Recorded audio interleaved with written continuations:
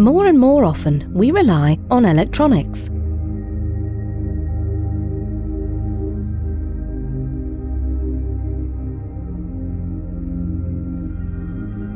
We use them for travel, work and play.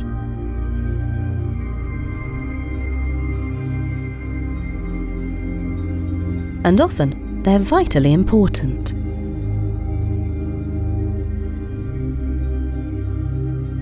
Each of these situations might be familiar to you, but you may not be so familiar with one of their causes radiation. No, not human generated radiation. The radiation we're talking about has much more in common with auroras.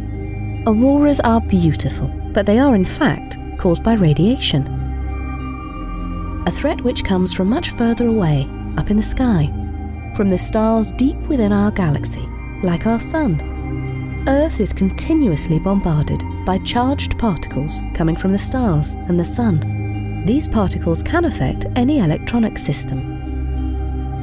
The GPS signal you're relying on could be lost due to a satellite's unwanted misalignment with your receiver. An aeroplane's control system could experience an annoying malfunction.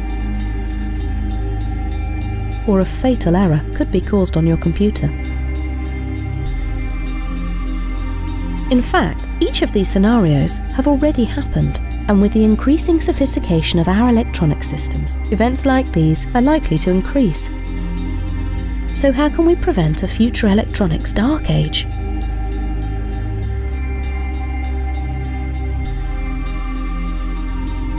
RadSaga is here to help.